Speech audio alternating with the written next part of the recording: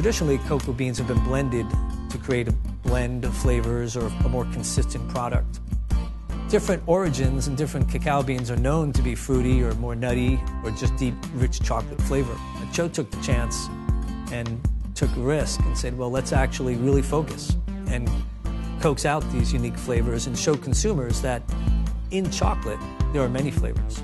So my friend Timothy Childs, the founder of TCHO, approached me with this fantastic idea of sourcing cacao by its flavor and launching a brand based on the flavor profile of distinct cocoa beans. And that is a very hard thing to do. We've gone and tried to help the cooperatives and the farmers understand that the true value of their product is its flavor. You know, it's not just how many kilos they're producing. What's the flavor? I mean, this is for chocolate after all. Again, it's not just about buying cocoa beans from brokers or even from exporters, you know, in these countries of origin but working very closely with the farmers, with the cooperatives on bean selection, fermentation, drying. Every step helps us create an exceptional product based on the flavor profile of the cacao.